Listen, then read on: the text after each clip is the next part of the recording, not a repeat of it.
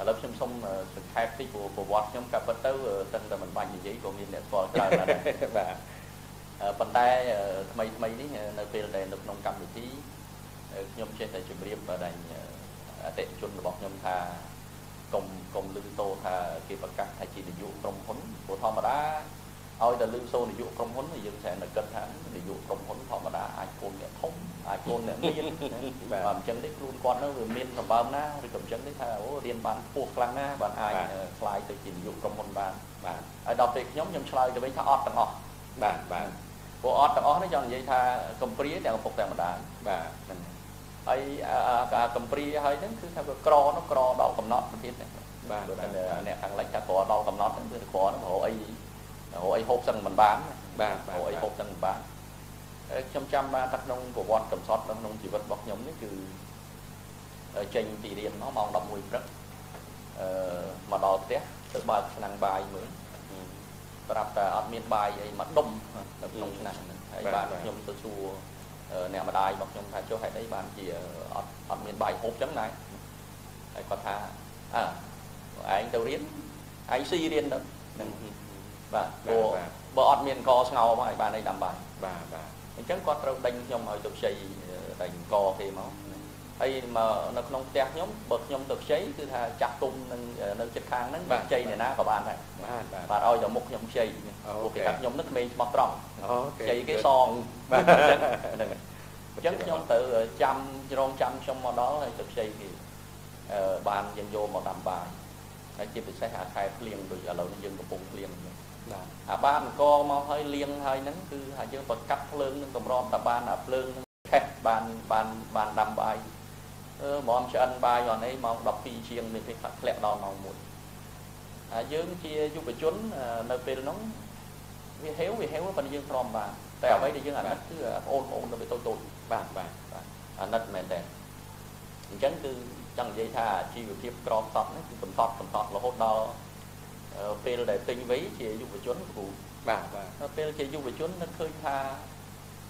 មើលទៅដូចគ្មានក្រៅគ្មានអីធ្វើល្អជាងទៅធ្វើទៅហ៊ានចឹងណាហ្នឹងព្រោះបើយើងទៅទៅហ៊ានទៅវាអាចថាគេមានរបបដែលអង្គយើងហូបគេមានដែលដៃស្រាយសិនយោធាស្រាយមកបប្រាវសិនហើយមួយយ៉ាងឃើញគេធ្វើទៅហ៊ានវាស្អាតទៅទៀតណាបើគេមានអាឯកសន្តានយោធាច្បាច់ជើងវាស្អាតចឹង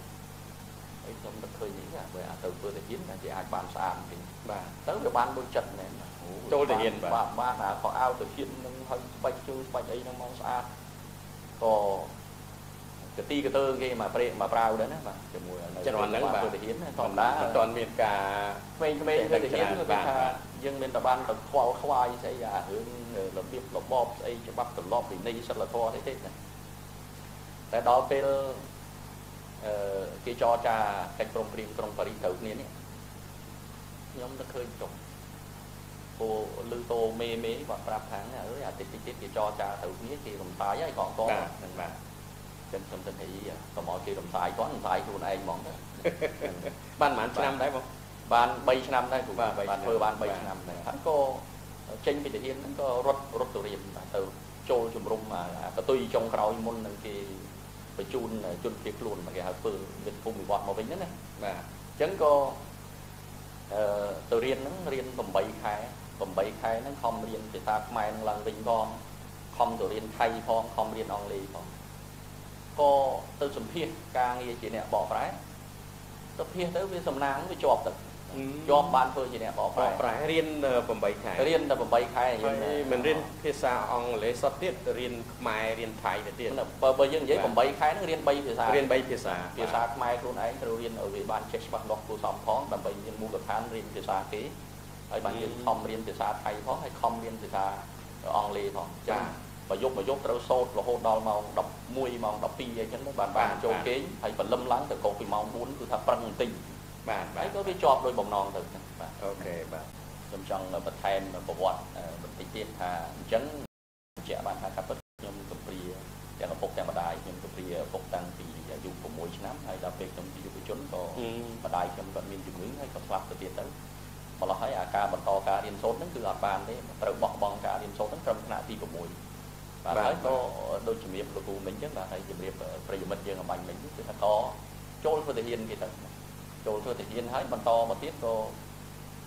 ខ្លាចលោកគេរំសាយកងទ័ពអញ្ចឹងក៏រត់ទៅរៀនហើយរៀនយើងមិនអាចទៅតទៅអីវិទ្យាល័យឬក៏មហាវិទ្យាល័យអីកើតអញ្ចឹងមានតែខំប្រឹងរៀនភាសាបរទេសបាទបាទបាទដល់ពេល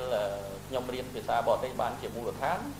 បានខ្ញុំចាប់ផ្ដើមអភិវឌ្ឍគេហៅថាជំនាញខ្លីៗអឺនិយាយទៅដូចថាឥឡូវនេះយើងទៅចែកគ្នានៅក្នុងកម្មវិធីរបស់អីម ជ្ឈមណ្ឌលសិក្សាដើម្បីវិទ្យាស្ថានសិក្សាដើម្បីជោគជ័យ LSI បាទអឺមិនចង់ខាងយើងអី promote LSI អីទេបាទខំជំរុញ LSI ទេប៉ុន្តែគាត់ចង់បញ្ជាក់ថាអាជំនាញនេះមែនតើគឺធ្វើឲ្យផ្ដល់ផែផ្លែការសំខាន់ដល់ដល់មនុស្សមែនតើបាទបាទឧទាហរណ៍ថាការចាប់ផ្ដើមរបស់ខ្ញុំគ្រូចាប់ផ្ដើមមែនតើគឺពេលដែលខ្ញុំចូលធ្វើការដំបូងខ្ញុំចាប់ផ្ដើមហ្នឹងខ្ញុំចង់ចេះកុំព្យូទ័រម្ល៉េះខ្ញុំទៅរៀនកុំព្យូទ័រ បាទបាទហើយសម័យមុននេះគឺថាបើចង់ទៅរៀនកុំព្យូទ័រក្រណាមិនមិនមែនទៅបូកឥឡូវដូចកុំព្យូទ័ររៀនកន្លែងណាក៏មានដែរមិនងាយទេបាទហើយអារៀនចេះហើយហ្នឹងមកដល់កន្លែងហ្នឹងគឺថាបើបើមកដល់ចូល office បានបានប៉ះកុំព្យូទ័រម្ដងម្ដងយីពីអនោះបងងាយគេមិនងាយឲ្យប៉ះរបស់គេទេបាទបាទមែនទៅយើងរាល់ថ្ងៃនេះបើយើងនិយាយទៅកាយាល័យណាក៏មានដែរកុំព្យូទ័របាទមានហើយវាម្យ៉ាងទៀតយើងមានទូរស័ព្ទទៅ touch screen នេះវាប្រើទៅនាងទៅនាងវាទំនើបឆ្ងាយពីមុន អាកុំព្យូទ័រនោះវាក្រហើយអត់មានអាទូរស័ព្ទ smartphone touch screen នៃទៅក៏អញ្ចឹងប៉ុន្តែត្រូវតែដាក់ចិត្តថាទៅរៀនបាទហើយមិត្តភ័ក្តិរបស់ខ្ញុំគេសួរថារៀនដើម្បីបើឯងធ្វើការខាងក្រៅខំប្រឹងរៀនកុំព្យូទ័រហើយខ្ញុំគិតថាចូលបន្តិចទៀតយើងទៅធ្វើមេគេទៅហើយបើយើងអត់ចេះកុំព្យូទ័រយើងទៅគ្រប់គ្រងគេឲ្យធ្វើរបាយការណ៍មិនកើតដូចជាមានបងកាត់ភាសាបងដូចជាមានគំនិតមួយថា ចង់ចេះចង់ដឹងមែនទេបងអាហ្នឹងវាអាចថាចង់ចេះចង់ដឹងមែនទេគឺមិនមែនត្រឹមតែចង់ចេះចង់ដឹងទេគឺចង់ធ្វើធំទៅទៀតមានគំនិតមួយមានគំនិតមួយគឺគិតថាដូចជាគិតថាថ្ងៃណាមួយខ្ញុំនឹងនឹងនឹងទៅជាអ្នកគ្រប់គ្រងគេគិតហើយគិតហើយគិតហើយស្រេចបាទម្ល៉េះហើយបានទៅរៀនកុំព្យូទ័របាទទៅរៀនកុំព្យូទ័រចប់កុំព្យូទ័រហ្នឹងក៏នៅពេលដែលធ្វើការក្នុងជាអ្នកលក់ដូចគ្នាហ្នឹងគេត្រូវត្រូវការធ្វើរបាយការណ៍អ្នកលក់ទាំងអស់អត់មានណាចេះកុំព្យូទ័រខ្ញុំចេះបាទ ដល់ពេលខ្ញុំចេះខ្ញុំមកធ្វើរបាយការណ៍ដល់ពេល